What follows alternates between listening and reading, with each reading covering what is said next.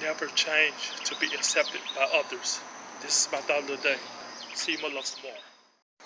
You are presented two choices in life evolve or repeat.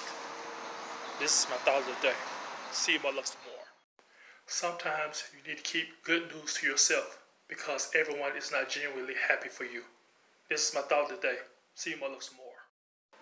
Inside every person that you know, there is a person that you don't know.